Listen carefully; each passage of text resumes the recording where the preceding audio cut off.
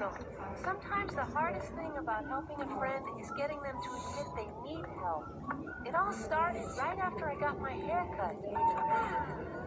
Perfect.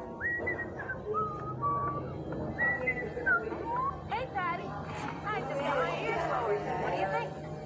Uh, something wrong? You look kind of... Hey, look! There's your dad. Wonder what he's doing here. Yeah, I think so.